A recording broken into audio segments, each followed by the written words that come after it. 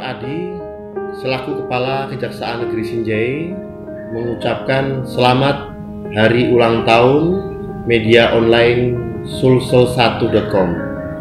Semoga dengan hari jadinya yang pertama ini media online sulsel1.com semakin dapat berkiprah untuk masyarakat dalam aspek pemberitaan yang konstruktif, membangun, kritis, dan selalu bisa memberikan informasi-informasi aktual yang diperlukan dan dibutuhkan oleh masyarakat.